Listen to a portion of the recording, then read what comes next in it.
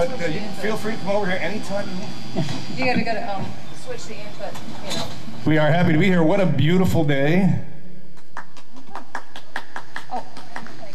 Give it up for the people that control the weather. Awesome.